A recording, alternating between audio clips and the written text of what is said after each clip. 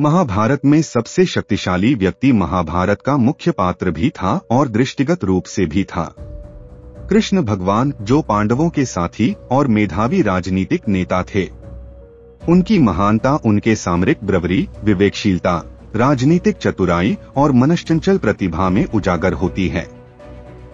कृष्ण ने पांडवों को उनकी युद्ध रणनीतियों में मार्गदर्शन किया और महाभारत में अनेक महत्वपूर्ण भूमिकाओं का निर्वाह किया।